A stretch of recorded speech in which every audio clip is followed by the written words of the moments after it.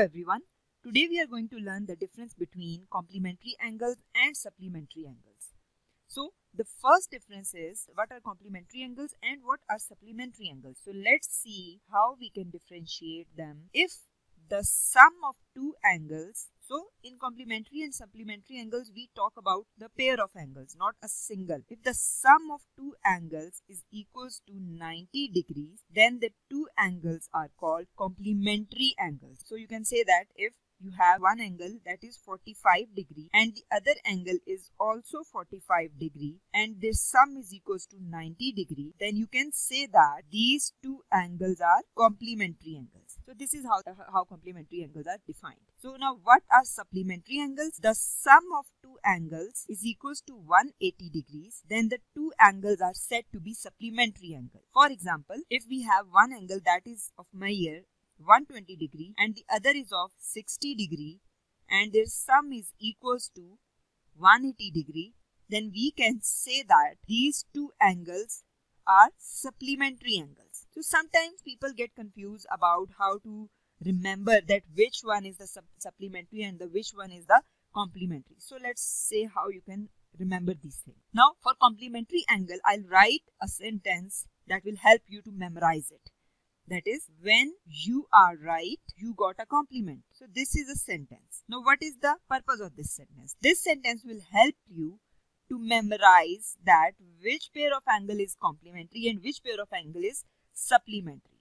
So from this sentence, you can see that when you are right, now right refers to 90 degrees. Like in right angle, you got a compliment. It means in complementary angles, you have the two angles which sum up together will result in the angle that is equal to 90 degree that is equal to right angle. So this is how you can memorize the complementary angles.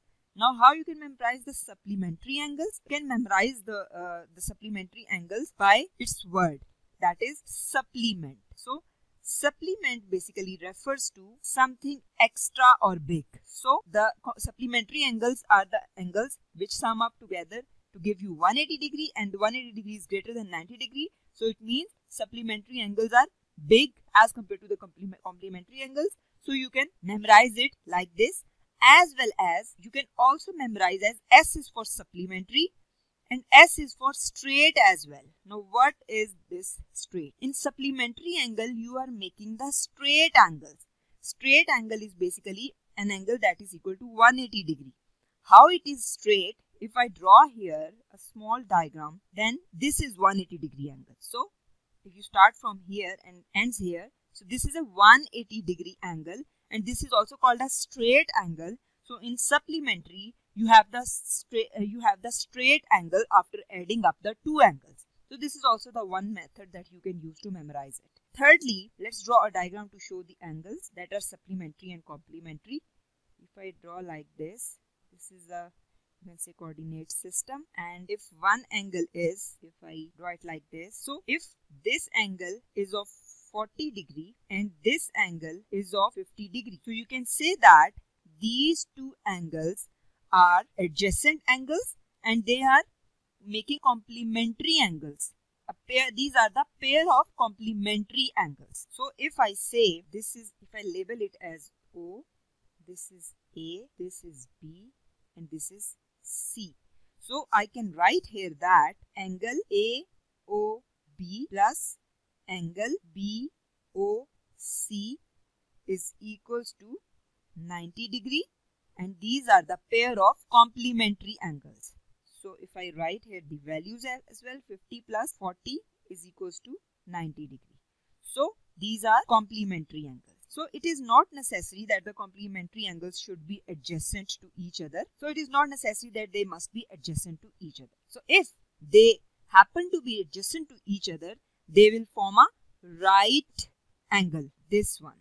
This is a right angle because they are sharing the same line and they are adjacent to each other. Both 40 and 50 degree angles are adjacent to each other. They are also called adjacent angles. So while in case of complementary angles, let's draw it as well. If I draw it like this is a straight line just for the sake of your ease. This is X, C, B, A, D. So this is how we have labeled.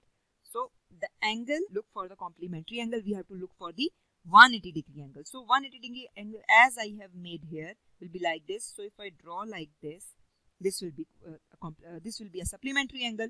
So how we can write it? We can write it as sum of angle AXB plus angle BXC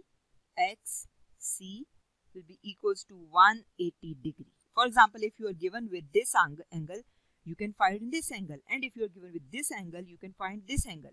So this is how supplementary and complementary angles can also be used to find the angles as by using it, their formulas as it will uh, give you that if the two angles sum up and give uh, and, uh, and they are um, supplementary to each other it means they must be equal to 180 degree and if the two angles sum up and they and they are complementary to uh, angles they must sum up to 90 degree so in supplementary angles if they happen to be adjacent like in this case they are sharing this line so they are adjacent angles so they these they they will if they are, they happen to be adjacent they form a straight line.